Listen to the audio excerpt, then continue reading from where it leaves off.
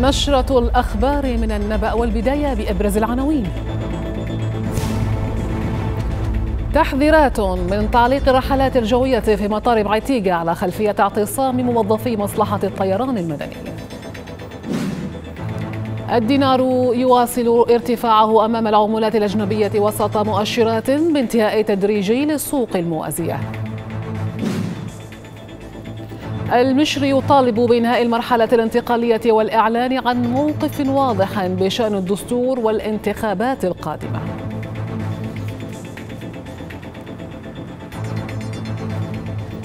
أهلا بكم إلى تفاصيل النشره حذرت إدارة مطار مايتيغا الدولي من تعليق الرحلات الجوية الأيام القادمة على خلفية اعتصام موظفي مصلحة الطيران المدنيه إدارة المطار قالت عبر صفحتها على موقع الفيسبوك إن الاعتصام نتج عنه توقف تجديد واستخراج التصاريح للطيارين وأعضاء الضيافة الجوية.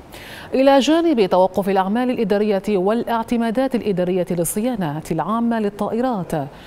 وطلبت إدارة المطار المسؤولين بالنظر في مطالبات المعتصمين قبل إيقاف الرحلات الجوية والدخول في إضراب عام. ضعف المرتبات وغياب العدالة الاجتماعية سببان صاغهما موظفو مصلحة الطيران المدني للدخول في اعتصام جزئي. اعتصام لم يكد يمضي عليه إلا أيام معدودة حتى بادرت إدارة مطار معتيقة الدولي بالتحذير من إمكانية توقف الرحلات الجوية في الفترة القادمة. تحذير المطار أعقبه إعلان توقف العمل في قسم تجديد واستخراج التصاريح للطيارين وأعضاء الضيافة الجوية والأعمال الإدارية إضافة إلى توقف الاعتمادات الإدارية للصيانة العامة للطائرات.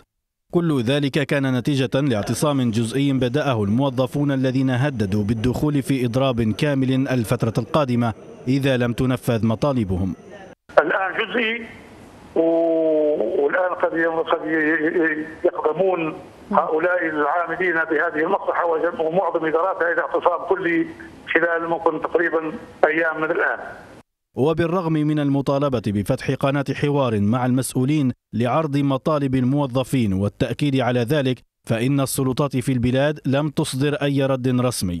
وإلى حين حدوث ذلك يظل المسافر الليبي يعيش في تخبط دائم بين اعتصامات وإضرابات تارة وبين رفع أسعار التذاكر وإلغاء الرحلات تارة أخرى. ما يتسبب في تحميل المواطن أعباء فوق الأعباء الحياتية اليومية الملقاة على عاتقه.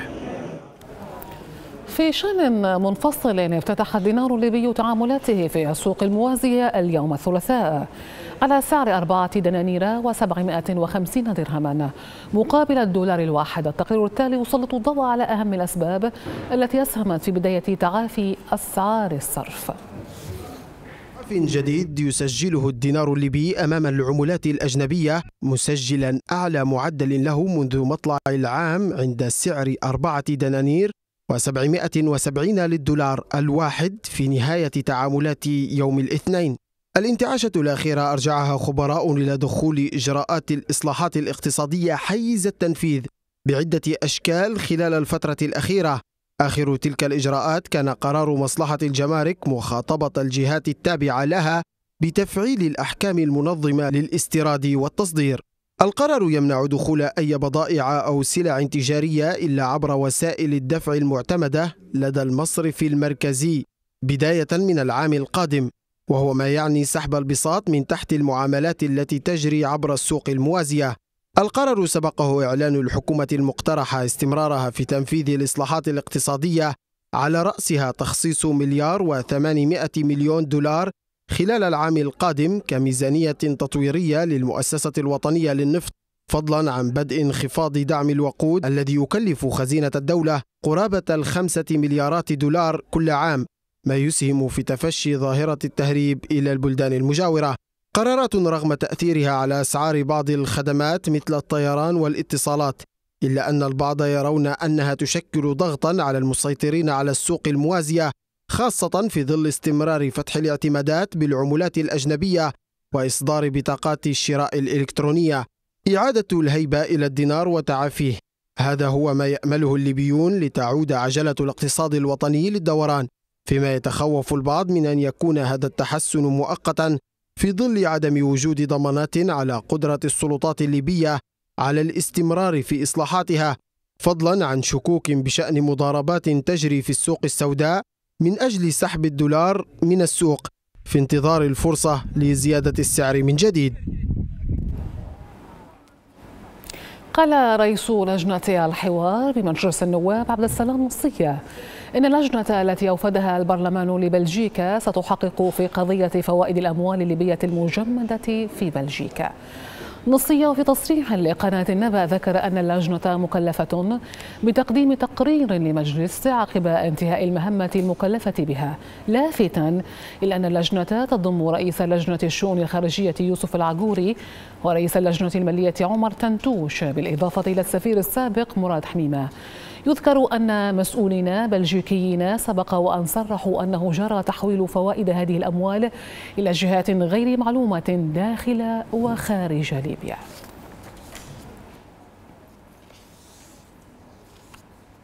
هذا وبدأت اللجنة المكلفة من قبل مجلس النواب بمتابعة الأموال الليبية المجمدة في بلجيكا ولوكسمبورغ في التباحث وإجراء الاتصالات مع المسؤولين في البلدين للتحقق والاطمئنان على هذه الأموال الموجودة في مصارفهما. وعلمت قناة النبأ أن اللجنة التقت بعدد من أعضاء مجلسي النواب والشيوخ في بلجيكا. فيما خطبت الحكومة البلجيكية لتحديد مصير الأموال الليبية بعد تصريحات عدد من مسؤوليها بتحويل أرباح تلك الأموال لجهات غير معلومة. خارج ليبيا يذكر أن النائب العام البلجيكي جورج جلينيت سبق وأكد اختفاء خمسة مليارات يورو من الأموال الليبية المجمدة في بلاده معلنا بأنه سيفتح تحقيقات موسعة في اختفاء هذه الأموال التي وصفها بالفضيحة الكبرى.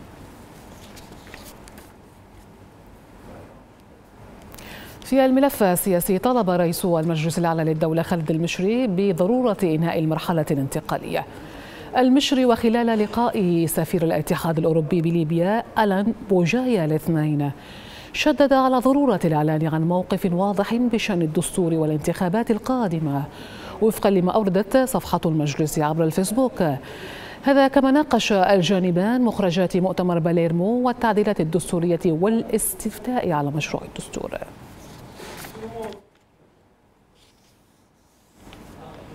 نفى رئيس المجلس الرئاسي المقترح فايز سراج إجراء أي لقاء مع آمر ميليشيات الكرامة خليفة حفتر خلال زيارته العاصمة الأردنية عمان. السراج في لقاء آه، له للتلفزيون المملكة الأردنية قال إن آخر لقاء جمعه مع حفتر كان في مؤتمر باليرمو بإيطاليا الشهر الماضي.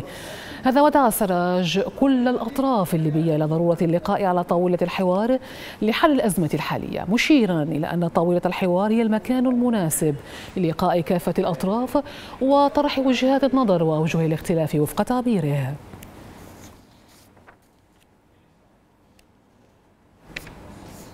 وفي سياق آخر احتضنت مدينة طرابلس ورشة عمل لمناقشة التقرير النهائي للمسار التشاوري للملتقى الوطني الليبي والتي نظمتها الهيئة الطرابلسية. تفاصيل الورشة وأبرز محاورها في التقرير التالي. نحو إحاطة أكثر شمولية بإنتاجات المسار التشاوري للملتقى الوطني وفهم أعمق للتحديات والأولويات الوطنية. نظمت الهيئة الطرابلسية بالعاصمة ورشة عمل لمناقشة التقرير النهائي للمسار التشاوري للملتقى الوطني الليبي وإبداء الملاحظات والتوصيات الكفيلة بإنجاح المشروع القائم على رأب الصدع وتحجيم هوة الاختلاف.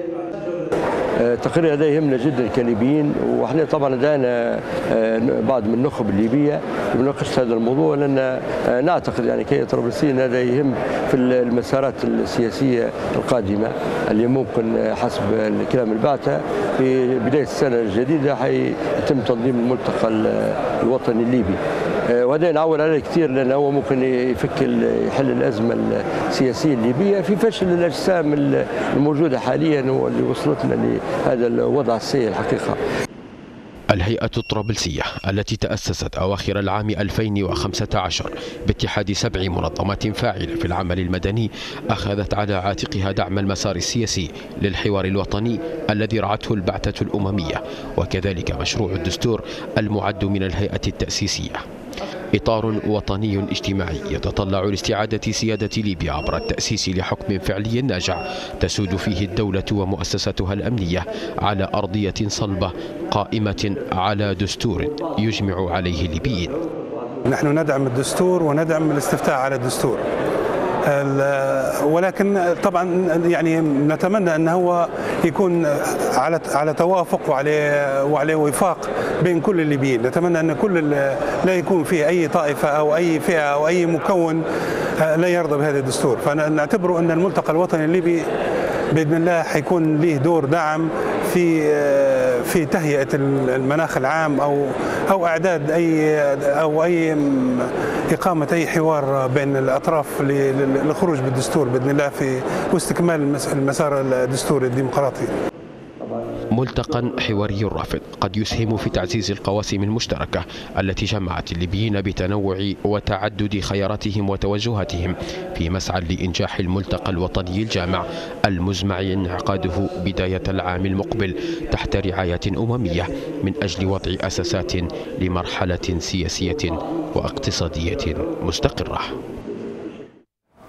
بعد ضربات جوية للأفريكوم استهدفت ثلاث سيارات وسقط خلالها أحد عشر قتيلا.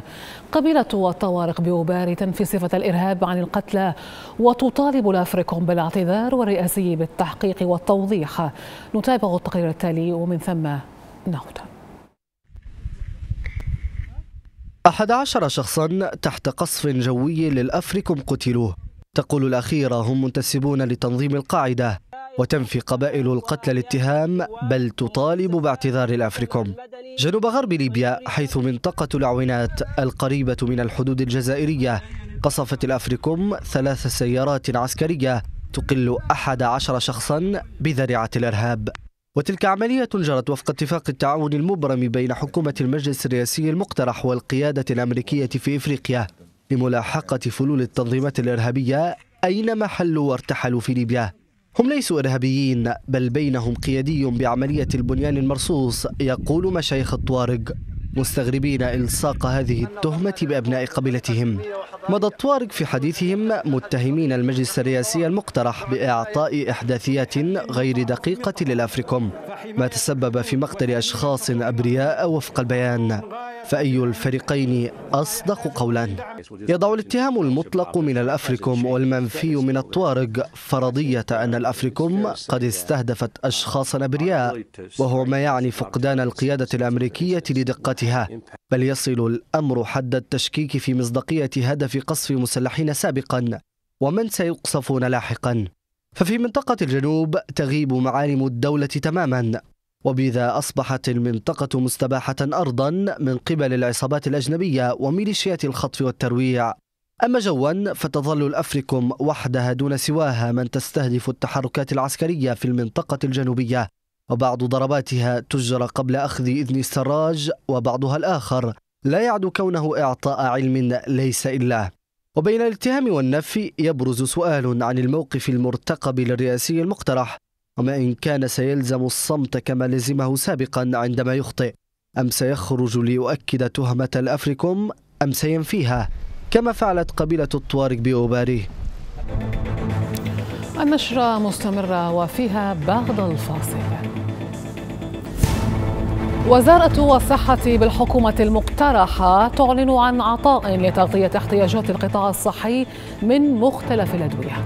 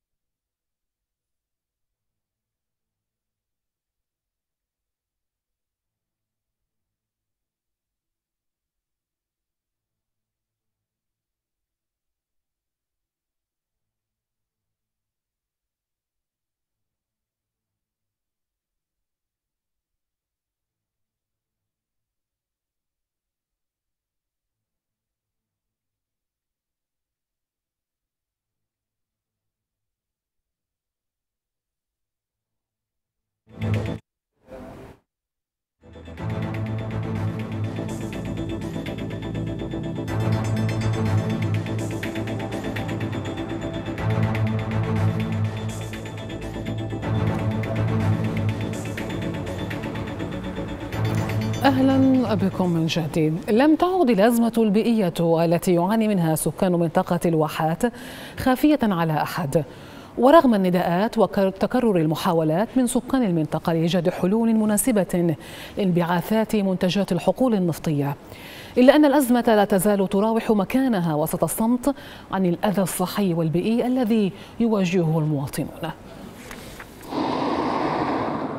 هكذا تبدو منطقة الواحات حينما تمر بها لكن ثمة مشاكل عميقة يعانيها أهلها نتيجة استمرار بعض الحقول النفطية العاملة هناك بالتخلص من سمومها في البر والبحر دون حسيب أو رقيب.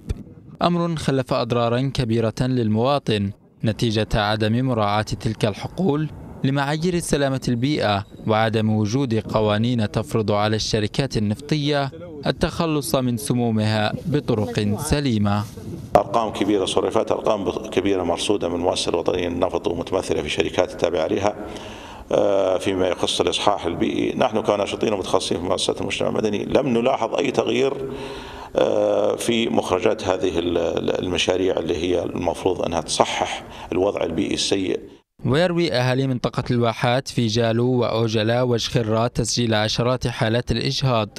خلال السنوات الأخيرة إضافة لإصابة أطفالهم بمشاكل في الجهاز التنفسي.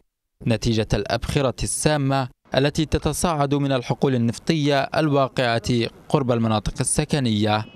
هذه مربوطة من المياه الجوفية معضلة أخرى يعانيها السكان تمثلت في تسرب البحيرات النفطية للمياه الجوفية لتصل بدورها إلى منازل المواطنين. ملحقة الضرر بالإنسان والنبات على حد سواء. للأسف إن حتى هذه المياه المصاحبة تحتوي على كميات كبيرة من المواد الهيدروكربونيه الكربونية المفروض تستفاد منها اقتصاديا. آه، الغازات المصاحبة اللي يضخوا فيها في الهواء واحيانا يحرقوا فيها ويكربنوا فيها وتسبب في ضرر للمكونات البيئة اللي هي الماء والهواء والتراب. وبينما يعاني اهالي المنطقة من تلك الأزمة. يتطلع كثيرون إلى اليوم الذي تسن فيه قوانين تحفظ للمواطن الليبي حقه في التمتع بحياة صحية بعيدا عن الضرر الذي يطاله نتيجة السموم المتراكمة بسبب التخلص الخاطئ من مخلفات الحقول النفطية. أعلنت وزارة الصحة بالحكومة المقترحة عن أول عطاء للعام 2018 لتغطية احتياجات القطاع الصحي من مختلف الأدوية. وقال وكيل الوزارة ورئيس اللجنة العليا للإشراف عن العطاء محمد هيثم إن كافة الشركات المحلية والعالمية المصنعة المسجلة مسموح لها بالتقدم وسحب كراسات العطاء وفقا للشروط التي وضعتها اللجنة موضحا أن هذا العطاء سينهي مشكلة نقص الأدوية وفق تعبيره. يأتي ذلك في وقت تعاني فيه ليبيا من نقص كبير. في عدد من الأدوية رغم إعلان الوزارة المتكرر عن خطط لسد النقص الحاصل.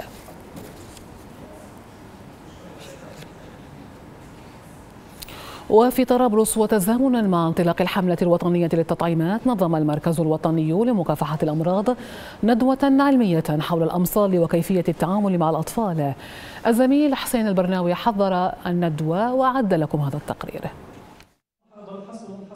شرح الطرق المثلى للتطعيم وكيفية التعامل مع الأطفال المستهدفين كان محور الندوة العلمية التي نظمها المركز الوطني لمكافحة الأمراض بشراكة منظمة الصحة العالمية واليونسف في العاصمة طرابلس متخذة شعارا معا من أجل أطفالنا.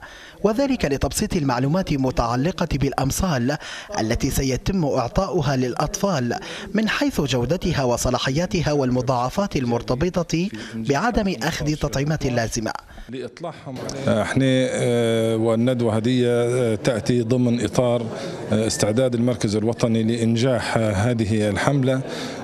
فالحملة اليوم تخص الدعوة لكل أطباء الأطفال والأطباء اللي لهم علاقة بالتطعيمات لتوعيتهم بخصوص الخطة إن شاء الله لخطة الحملة الوطنية هذه للتطعيمات وإطلاعهم على كل الحيثيات وعلى كل التفاصيل الفنية والتقنية.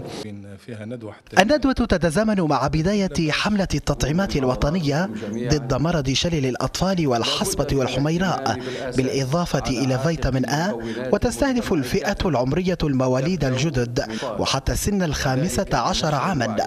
المركز الوطني لمكافحة الأمراض يحرص من خلال إقامة مثل هذه الندوات على تزويد الكوادر الطبية بالمهارة اللازمة لتفادي الأخطاء وإنجاح الحملة.